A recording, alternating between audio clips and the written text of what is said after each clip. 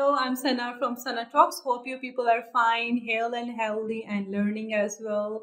Today I'm going to share with you the two tactics of uh, uh, how you can start speaking English and uh, how you come to know that you are speaking good English.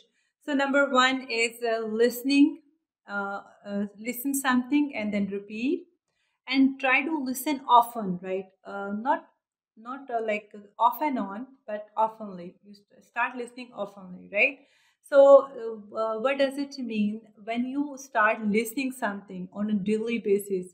You know you can you know you, you can take the rhythm of that language. So if you want to take the rhythm of speaking good english so start listening english. So hopefully you will get my point but I, I want to say to you.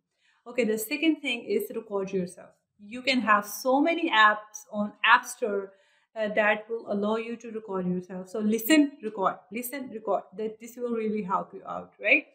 So speaking for speaking for the beginning uh, like uh, maybe you feel shy to speak in front of anyone. So what you have to do you have to listen someone and then record yourself right? So hope you like the video. If you like the video like comment share and do subscribe. Otherwise you will never never get the next video. Allah hafiz